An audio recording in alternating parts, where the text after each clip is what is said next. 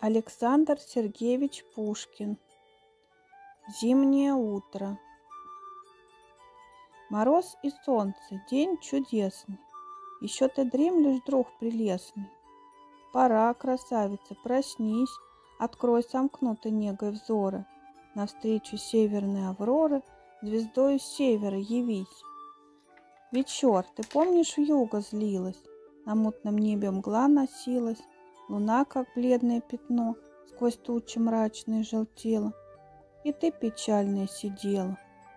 А нынче погляди в окно, Под голубыми небесами, Великолепными коврами, Блестя на солнце снег лежит, Прозрачный лес один чернеет, И ель сквозь ини зеленеет, И речка подо льдом блестит.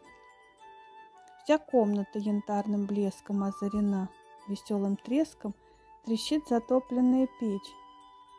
Приятно думать у лежанки, Но знаешь, не велеть ли в санке Кобылку буру запречь?